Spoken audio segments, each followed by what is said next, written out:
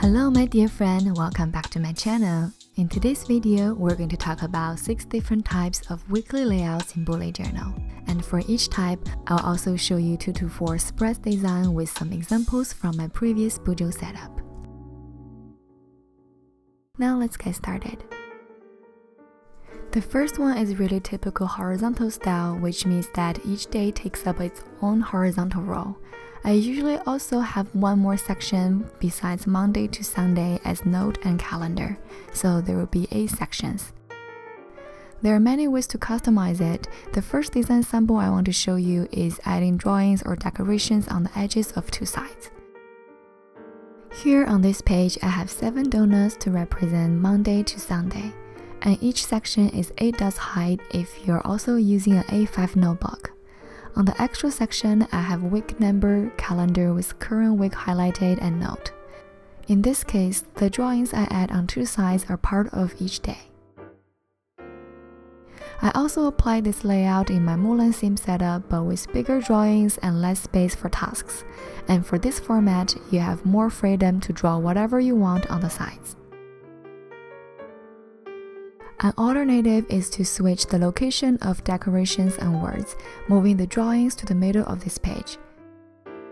I actually used a lot, like this botanic theme spread.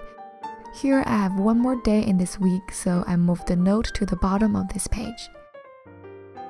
Another example is this travel theme spread. I went to New York City in this February, so I decided to draw some landmarks from New York as part of memory. The drawings take about half of the whole page but also leave enough space for writing tasks. Then same method, your drawing could be also on the bottom of the page while the tasks are pushed up a little bit. Like this spread, the space left for tasks are relatively shorter, but you can also separate into three columns like here, which is enough for writing down a long to-do list. If you need more space for writing things but also want some decorations at the same time, here I have another design for you, where this door Dutch door comes in. You can use the whole spread for tasks including the back of the middle pages. Here I use it for my monthly summary and next month goals since this is the last week of that month. Speaking of Dutch door, I usually use this design when it comes to two weeks combined, especially if you want to share notes or decorations for both weeks.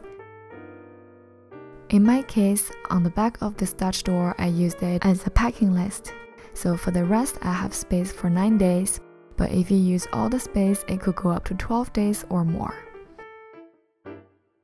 I also have another Dutch door design which applies to all weeks, so here I just simply make some decorations on the beginning and ending page and then cut away for every single week. It works very well when you want to see some important notes, to-do list, or quote for every week in this month. Okay, now we come to the second type, vertical style, which means that each day is gonna get its own column. This layout design is good for some of you who usually have a long task list.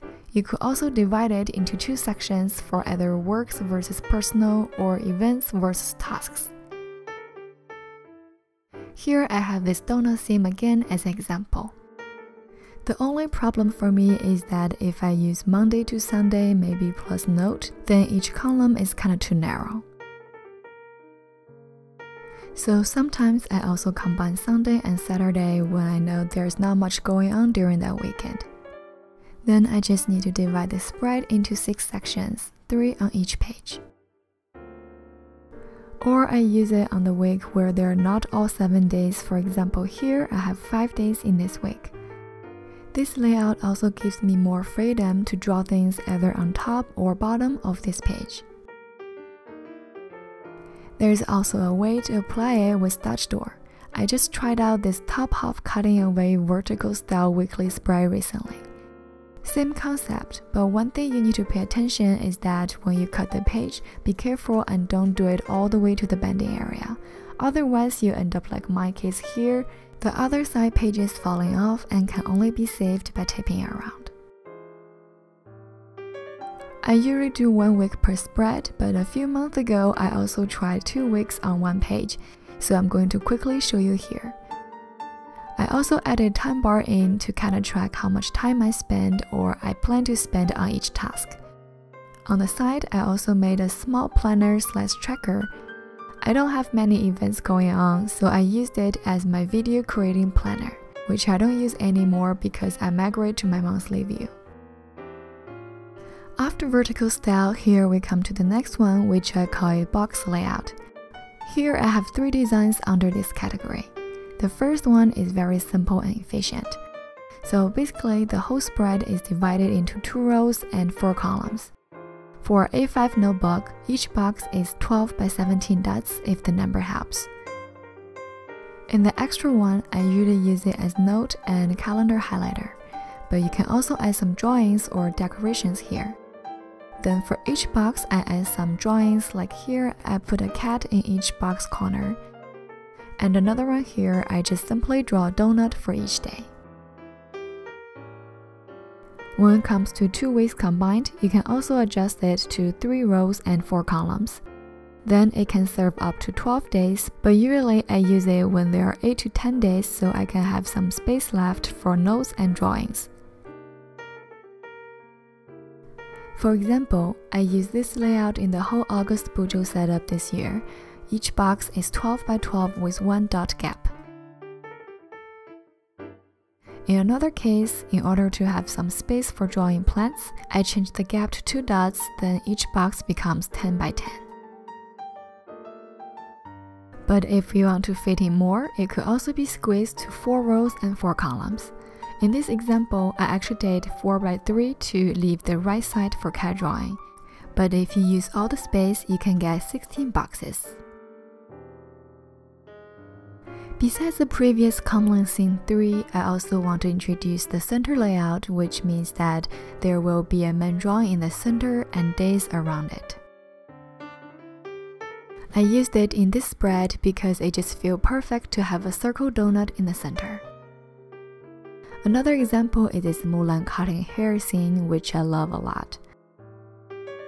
Oh, here on the day April 11th, I got my first 100 subscriber on my YouTube, which is like half a year ago. No matter you are the first 100 or new friends, thank you so much for supporting me and this channel. I really appreciate. So yeah, here I have a few more examples from the ocean theme setup where I pretty much apply this layout on all weekly spreads. There is another type, I don't really have a name for it, but more like freestyle.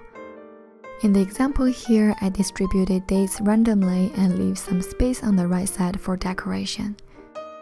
Another case is this kitty on the right down corner. Because this layout is more free, you can adjust the space for each day based on your own schedule.